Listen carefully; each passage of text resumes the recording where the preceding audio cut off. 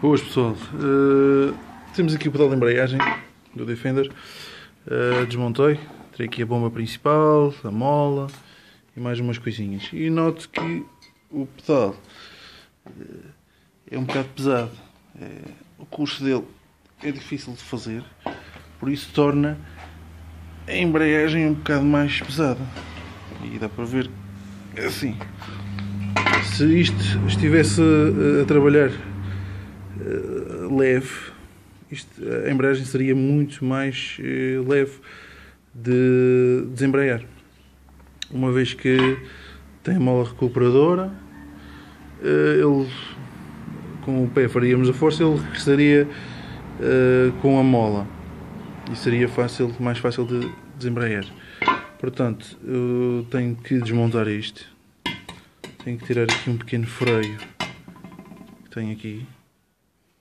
Este freio, por sua vez, sai para baixo. Uma cavilhazinha. E depois este eixo. Isto é tipo um eixo que tenho aqui. Provavelmente sairá para cá. E vou tirar o pedal, passar uma lixa e lubrificar bem a ver se, se ele fica mais leve.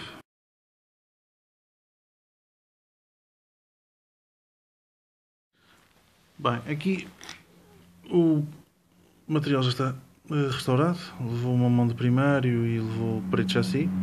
Temos a mola também, foi restaurada, parece outra. Uh, retirei o, o veio, como vos tinha dito, passei uma lixa. Ele uh, custou a sair, mas ele tem que entrar e sair livremente, porque hum, ele estava muito ferrugento e, como estava ferrugento, estava calcinado. Agora, como podem ver, o pedal gira livremente. Um, estes pedais costumam dar o problema que ficam presos em baixo. Normalmente costuma-se lubrificar isto aqui por cima, porque isto é um bocado de trabalho para tirar. Uh, como eu desmontei o mesmo, ficou muito melhor. Porque já cheguei a lubrificar o meu e ele fica sempre um pouco perro. Não recupera bem.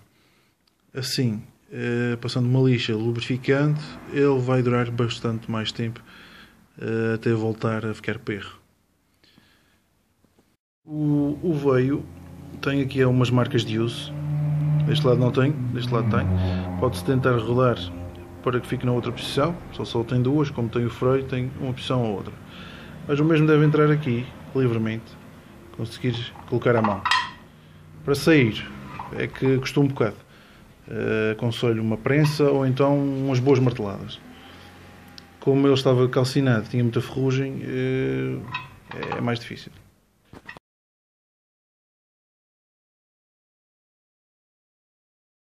Como podem ver, a embreagem agora ficou leve, leve, leve. Mais leve do que isto é impossível. Já montei o, o eixo e já coloquei aqui o freio.